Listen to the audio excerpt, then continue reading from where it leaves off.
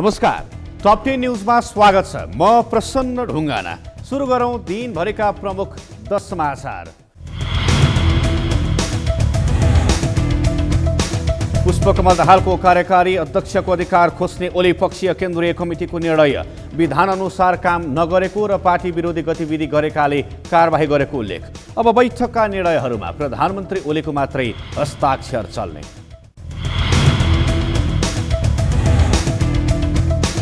षड्यन्त्रपूर्वक गरिएको संसद विघटन सफल हुन नदिने नेपाल कम्युनिस्ट पार्टीका अध्यक्ष पुष्पकमल दाहालको भनाई।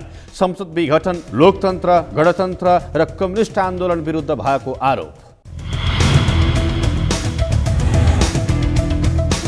संसद विघटन विरुद्ध पुस तेह्र र चौध गते मुलुकभर विरोध प्रदर्शन गर्ने दाहाल नेपाल समूह र प्रमुख प्रतिपक्षी दल नेपाली कङ्ग्रेसको निर्णय। सरकारको कदम अवैध भएको जिकिर एक हप्ताभित्र प्रदेशहरूको बैठक सम्पन्न गर्ने चौध गतेभित्र जनसङ्गठनका भेला बैठक सम्पन्न गर्ने बाह्र गते सतहत्तर जिल्लाहरूको भेला बैठक गर्ने र चौध गते सतहत्तरवटै जिल्लामा प्रतिगमनका विरुद्ध आन्दोलन गर्ने दाहाल नेपाल समूहको निर्णय।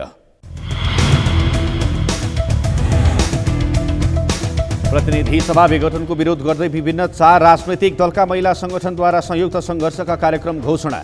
सरकारको कदम व्यक्तिवादी सोच अधिनायकवादी विचार निरङ्कुश शासकको चरित्र देखाएको आरोप। प्रतिनिधि सभा विघटनले प्राप्त उपलब्धि संस्थागत नभई प्रतिगामी शक्तिहरू सलबलाउने उल्लेख। सरकारले गरेको चुनावी घोषणाले देशको आर्थिक अवस्था झनै धराशायी बन्ने निष्कर्ष।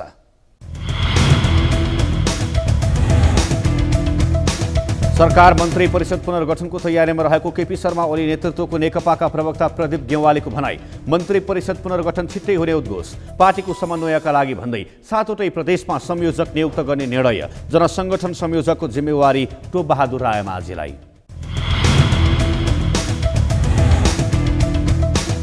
कोरोना भाइरसको सङ्क्रमणबाट नेपालमा पछिल्लो चौबिस घन्टामा थप पाँचको मृत्यु कोरोना सङ्क्रमणका कारण ज्यान गुमाउनेको सङ्ख्या एक हजार आठ सय आठ पुग्यो।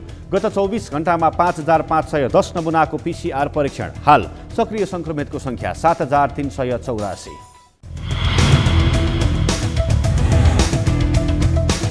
देशैभरि थप छ सय तेह्रजनामा कोरोना सङ्क्रमण पुष्टि। सङ्क्रमितको सङ्ख्या दुई लाख पचपन्न हजार पाँच सय बयानब्बे पुग्यो। थप सात सय उन्चालिसजना सङ्क्रमण मुक्त निको सङ्ख्या दुई लाख सडचालिस हजार चार सय।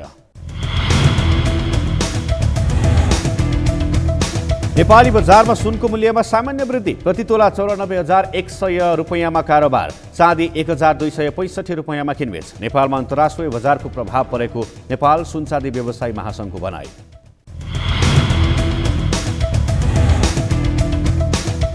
चिनी मिलबाट भुक्तानी दिलाइदिन माग गर्दै उखु किसानहरूले गरेको आन्दोलन जारी। किसानको खातामा पैसा नआउँदासम्म आन्दोलन जारी रहने।